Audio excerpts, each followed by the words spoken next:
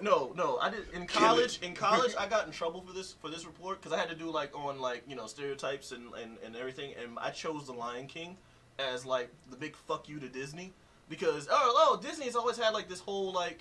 Um, you know, racism history, Yeah. and it's thinking like, oh, it's the '90s now. It shouldn't be that bad. No, Lion King, under layers and layers and layers, you'll see the racism in Lion King. Because first of all, Simba and Mufasa, they're like they're fair skinned. Uh-huh. They got straight hair.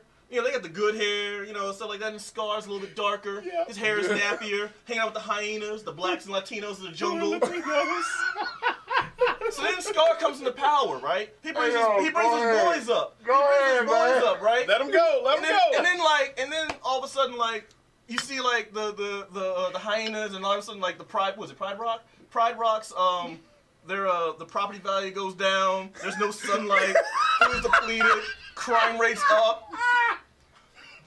And then like, Damn, and then, when that and then- black man, when that black guy took over, it And all then- went downhill. and then like, so here, comes, oh. here comes Simba, kicks everybody out.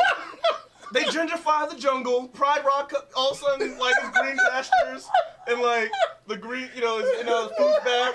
They gentrification. It's, it's a movie about gentrification. Fuck Lion King. Who can deny it?